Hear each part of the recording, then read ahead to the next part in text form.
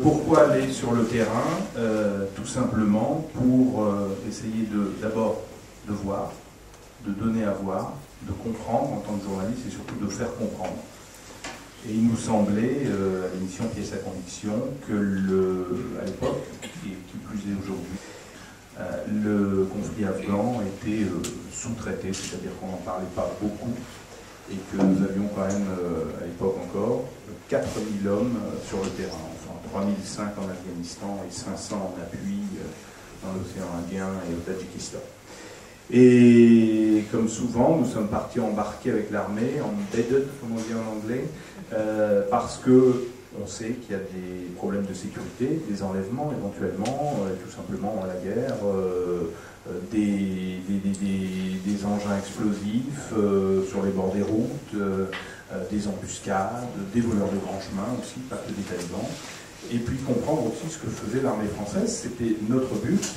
Et donc nous avons passé quasiment un mois avec l'armée française. C'est une longue période aujourd'hui. Généralement, et je pense que Thierry ne me contredira pas, euh, généralement les, missions, à part exception, guerre d'Irak, etc., sont des missions relativement courtes maintenant, 8-10 jours.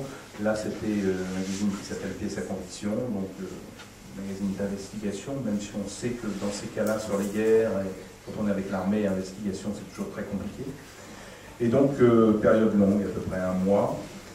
Et nous avions décidé, à l'origine, réfléchi à Paris, de passer quatre, jours avec des civils afghans. Parce qu'on a toujours l'impression, souvent, quand on voit les reportages, que finalement, euh, on fait euh, des reportages sur les armées, françaises, anglaises, américaines, mais on a l'impression d'être sur la Lune, parce qu'on pourrait être en Afghanistan, en Irak en Afrique du Sud ou que sais-je, en Côte d'Ivoire, finalement, on, suit des militaires nationaux, Français pour nous, voire des Américains. Bon.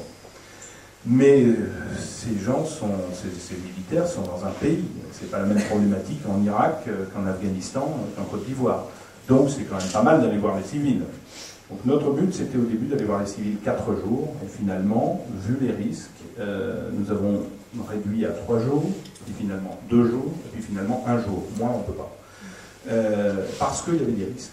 Pas nécessairement des risques d'enlèvement en Capissa, c'était pas une zone rouge foncé, c'était pas une zone pourpre, parce que euh, il y a d'autres provinces, euh, sud de l'Afghanistan par exemple, Kandahar et Helmand, qui sont vraiment les fiefs des talibans, où là il est très très compliqué, voire impossible d'y aller, soit sans escorte avec des, des gardes du corps, ou soit sans armes en Capissa, à l'époque, et encore aujourd'hui, il n'y a pas eu d'enlèvement d'occidentaux.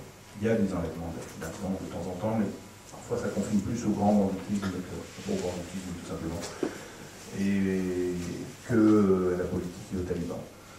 Et on a bien préparé notre affaire, et malgré tout, nous avons été enlevés parce que tout simplement, à un poste, pour l'affaire courte, un poste de contrôle, checkpoint, comme on dit en anglais, un poste de contrôle officiel, policiers et militaires afghans.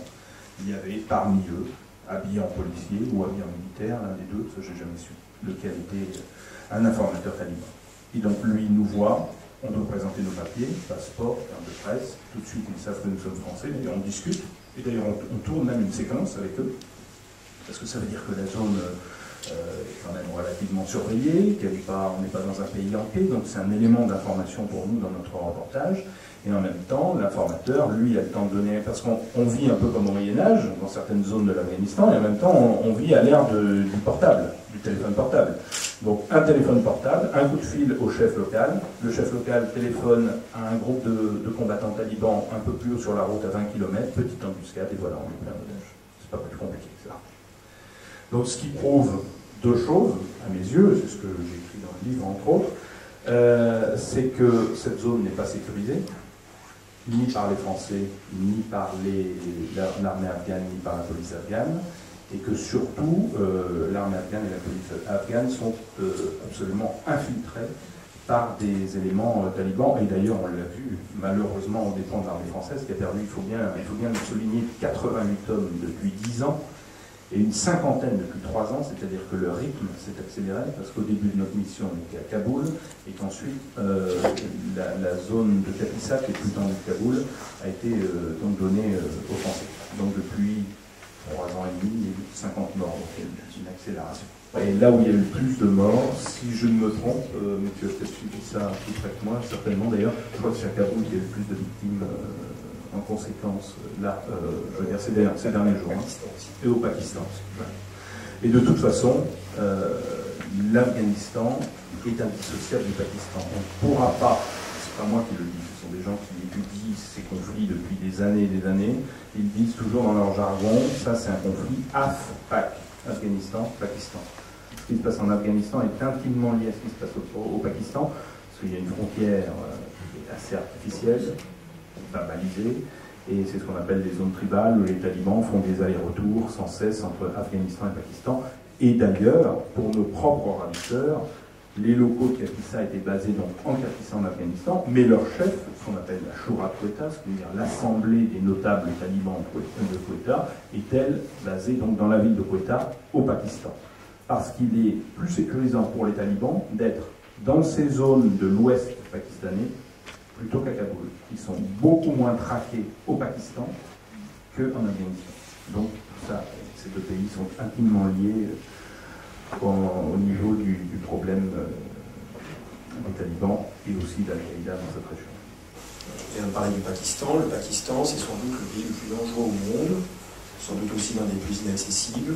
C'est qu'aujourd'hui, les racines du mal dans la région, ce n'est pas l'Afghanistan, contrairement à ce qu'on croit, c'est le Pakistan, c'est là que vous avez la formation des talibs, c'est là que vous avez les écoles coraniques, c'est là que finalement vous avez l'enseignement fondamental du djihad et de la guerre sainte à l'échelle mondiale. Bref, euh, c'est euh, là qu'il faudrait pouvoir proposer des nombreux reportages, et c'est pourtant sans doute le lieu le plus difficile d'accès. Et si demain on nous demande, propose de pouvoir monter une émission sur le Pakistan, nous le ferons, parce que je pense que euh, là où les journalistes vont, témoignent, écoutent, rapportent, je pense que vous, les premiers, êtes euh, évidemment du coup mieux informés et vous pouvez comprendre, comprendre par exemple des phénomènes décrits par, euh, par Hervé comme euh, ce vendredi ou aujourd'hui encore des manifestations parce qu'il y a des caricatures, parce qu'il y a un film que je n'ai pas vu, je n'ai pas jugé le film ici, mais en tout cas qui a choqué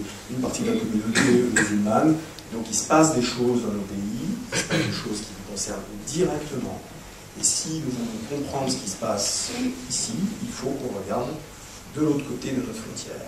Et plus on se fermera, et plus on se dira, c'est pas grave, qu'est-ce que vont faire les journalistes dans ces régions qui sont quand même un peu compliquées et lointaines, moins on acceptera de prendre ces risques, et, plus je pense que la, euh, la formation à laquelle vous avez le droit pour juger de ce qui se passe, y compris dans notre pays, cette information sera le, moins grande quantité. Donc, euh, vous voyez, c'est quand même euh, toujours des décisions, je ne dis pas irrationnelles, jamais irrationnelles, c'est quand même des décisions rationnelles, et avec cette part d'inconnu qui, évidemment, peut engendrer ce type désagrément, ou, chose qui m'a aussi beaucoup traumatisé, je vous le dis assez simplement, le décès d'un de vos amis, Gilles Jacquier, euh, grand reporter euh, à France 2. Euh, c'est le, même mécanisme. On dit on doit aller en Afghanistan, on doit aller en Syrie, on sait qu'il y a des risques, on essaie de limiter ces risques, et puis, et puis voilà, le sort décide pour nous. Pour autant, est-ce qu'aujourd'hui on doit cesser d'aller en Syrie? Je ne vous cache pas que ça me freine.